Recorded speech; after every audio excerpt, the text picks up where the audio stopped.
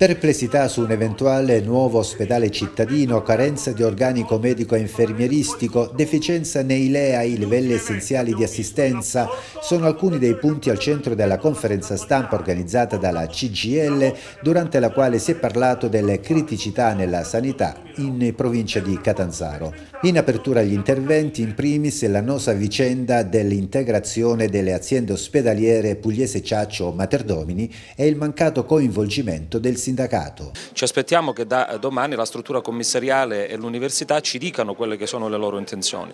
Poi c'è anche la questione che riguarda la costruzione del nuovo ospedale, dove noi siamo stati abbastanza chiari, noi non siamo contrari alla costruzione del nuovo ospedale, però vorremmo ragionare insieme a quelle che sono le, eh, le autorità che devono prendere queste decisioni di valutare quelli che deve essere un, un utilizzo corretto di tutte le strutture che sono presenti nel territorio della città di Catanzaro. In alternativa alla costruzione di un nuovo ospedale, la CGL invita a tenere in considerazione le vaste aree inutilizzate del Policlinico Universitario di Villa Bianca insieme alla ristrutturazione dell'attuale sede del Pugliese.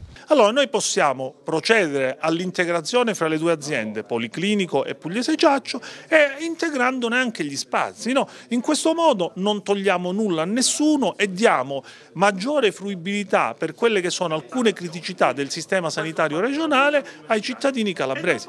Ripeto, abbiamo delle volumetrie impressionanti ancora inutilizzate. Di tutta questa diatriba che si è concentrata attorno alla figura di chi doveva essere il commissario, ha purtroppo in questi due anni incancrenito ed aggravato le già precarie e fragili criticità che c'erano, ci mancherebbe altro. Così. Le situazioni si sono acuite, si sono aggravate su un tessuto che era già fragile di per sé, non ci sono dubbi. Come si può garantire gli stessi livelli essenziali di assistenza ai cittadini se due o tre anni fa c'erano, quattro anni fa c'erano 5.000 operatori in più adesso 5.000 operatori in meno, con delle condizioni anche dal punto di vista logistico delle strutture che sono in condizioni molto precarie che scoppiano. Se su questi temi, rispetto alle nostre azioni rivendicative e rispetto diciamo, alle problematiche che noi abbiamo posto, arriveranno delle risposte, bene, altrimenti valuteremo anche da soli come CGL ad intraprendere azioni di denuncia e di protesta mirate